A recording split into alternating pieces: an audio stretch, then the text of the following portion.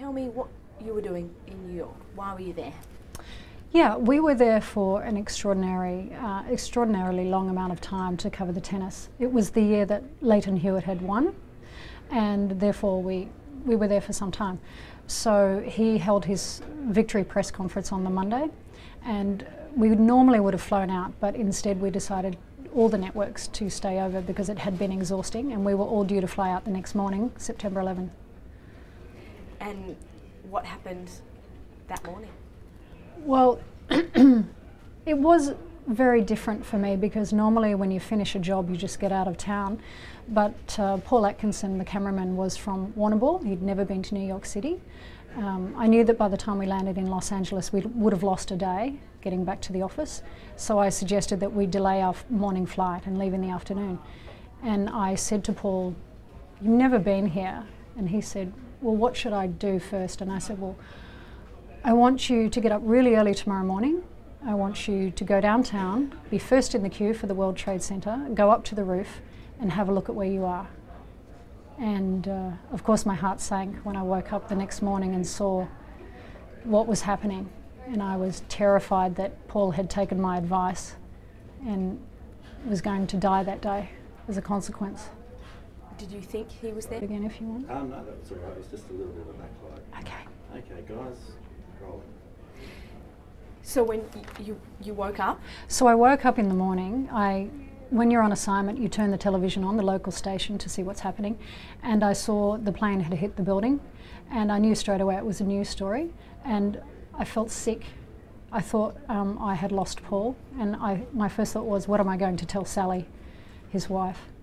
And I rang his mobile, and it didn't answer, and so then I was in a panic by this point and I rang his room and he answered the phone very slowly and sleepily. Yes.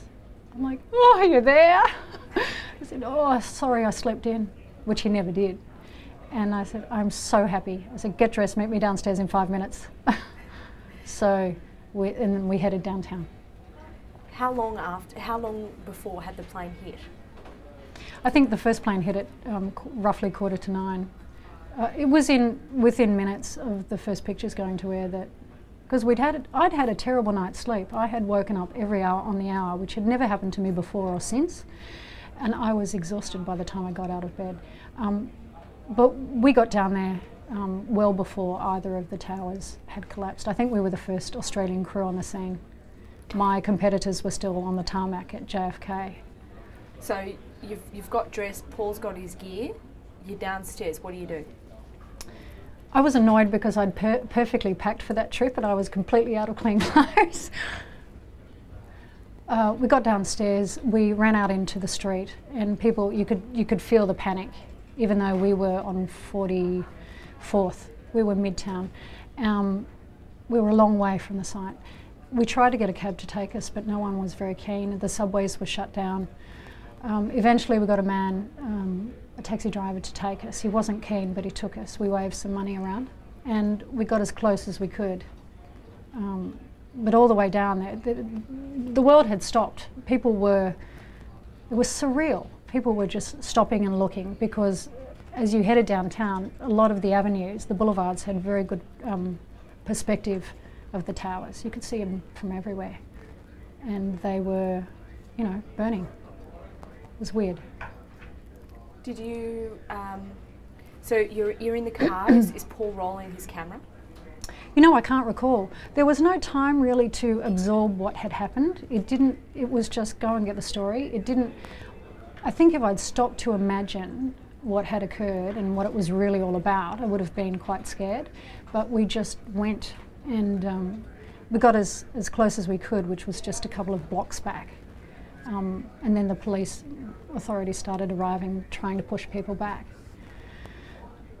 nobody knew that the towers, nobody expected that the towers would come down so quickly or that they were even going to come down. It seemed, it, it was just, the constant question in my head was, is this really happening? This, this is so weird.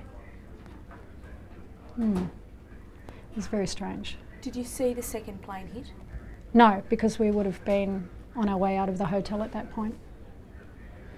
And what were people around you doing? Were they most people were um, standing, as they did in the coming days, were standing on the side of the road just looking. There wasn't this exodus of people towards that area, um, nor yet had the exodus begun out.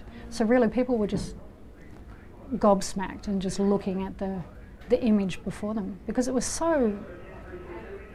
It was a beautiful day. It was the most beautiful blue sky, sunny day. It was a perfect day, and this horrible, horrendous thing was happening on this amazing day. Your first phone call, who was it to? Uh, my first phone call was to David Breen in the newsroom, and I just told him that we were on our way and that he might not be able to reach us. And that was on the hotel phone because the cell phone was down. Um, there was no communication. My best phone call was after we got out of the area. At the end of the day, my first phone call, my first voice was um, Ron Wilson. I was never so happy to hear that beautiful voice. Yeah, I remember well. Feeling safe because I'd connected with someone because the phones were out for some time. You spoke to Sandra not long after. That's right, from the cab. That's right, I rang Sandy. It was nice to hear her voice. It was, I think um, the, the adrenaline was so intense that it's impossible to explain. Um, I have a lot of empathy for people who've been in extreme situations since that day, but you, you're in survival mode already. You recognise that it's a hideous situation, and I just I wasn't panicked. I just remember thinking, just stay safe. Is just stay safe, but where does getting the story come in? There was no question that we would get the story. It was just a matter of getting down there, and because keep in mind that on, on the approach to the towers, we didn't know that what we would find what we would then witness. So it was a matter of just getting to an actual location and doing your best. There were no, there were no rules. So um, certainly I didn't expect what I was then to witness because it was probably, oh, easily the worst thing I've ever seen, and I wouldn't wish it upon anybody. Um, did you at any point think I actually have to go and hide here, or did? No, this is what happened. We we were pretty close, and we had a very clear view of the towers. The most disturbing and distressing um, image of my life was watching these poor people um, left with no other option but to jump and watching hundreds of them do so was just shattering. And there was nothing that you could do. You felt really, there were a lot of people hysterical on the street, members of the public crying and screaming and trying to get to the tower because obviously they knew someone there. And, and I said to Paul, don't film it. And uh, he'd already locked off to not film it because he, like me, felt that we had to respect those people because we didn't want to record their, their horrible. That does not make me a good journalist, but I, I, I think it was the only um, decent thing to do. Do you think a good journalist would film that? I think a, a true reporter would have, and I, I think that, um, well, a lot did. The, the French put it to air, but all I could think of was that somebody's mum or dad or child and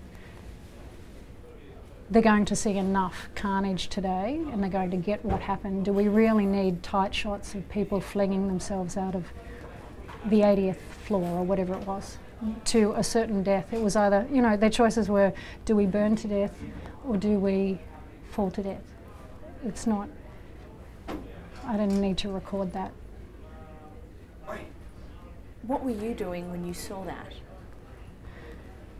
I was actually trying not to watch it because once once I realised what it was that I was watching, I, I just my brain was a bit overloaded because all of this happened in a matter of minutes. It wasn't happening over a day. It was happening in a matter of minutes, and um, you wake up after a, a lovely assignment for the tennis. It couldn't be more pleasant, and then suddenly you're watching hundreds of people die in front of you, and um, it's hard. You're not comprehending it. I wasn't in real time.